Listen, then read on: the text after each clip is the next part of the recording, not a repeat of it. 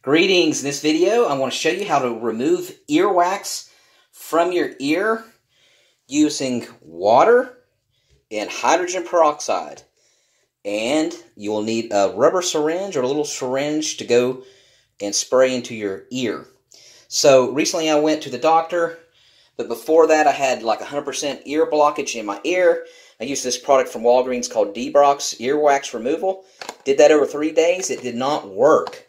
So I actually had to go to the ear doctor. They use like a hydrogen peroxide pump. And of course, they tell you never to use a Q-tip, which I agree with now. And you're basically just smashing the earwax down into your ear every time you think you're removing it, which you're really not.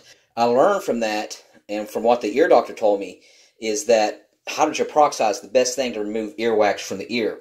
Not only to let it sit into your ear for like about five minutes to make sure basically it'll go into the to the earwax and it'll actually start degrading it, but actually to use the syringe to flush it out as well. So you can see there I had some liquid in there now. So the only thing that you're going to use is half hydrogen peroxide and half filtered or spraying or distilled water. So there's my hydrogen peroxide and here's my water.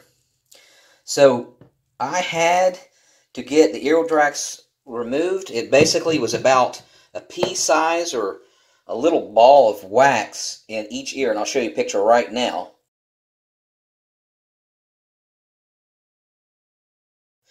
As you can see there how nasty that was. But it took her over 30 minutes of pumping hydrogen peroxide in each ear. And it was forced, man. It was like, it almost felt like a car wash into the ear. So it's not like that they were delicate to remove it. They actually put a lot of force of the hydrogen peroxide into the ear to remove it.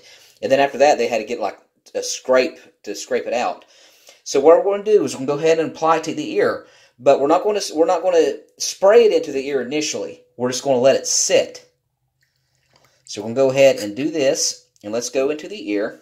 All right, so we got our half water, half hydrogen peroxide mist, and what we're going to do is we're going to put about five drops in there, five to ten drops, and we're going to let it sit. And we're going to keep our head tilted for about five minutes and just let that solution sit into the ear, and you you'll feel it go down into your ear. And it's basically it's basically soaking up that earwax. Okay, after five minutes, we're gonna go ahead and tilt our head back. After we did that, we're gonna go ahead and get more of a hydrogen peroxide water solution. And this time we're going to put like a little bowl on her shoulder and we're going to spray. If you get someone to help you out, that would be good, but not necessary. Okay, now this time we're just going to spray with force the hydrogen peroxide water solution. All right, let's do it now. Ah, and I got water on me, but that's okay. And so that's going to marinate and spread. You might want to try this four or five times. Do this a couple of times each day, and then hopefully it'll remove the earwax. All right, thanks so much for watching. Make sure you subscribe.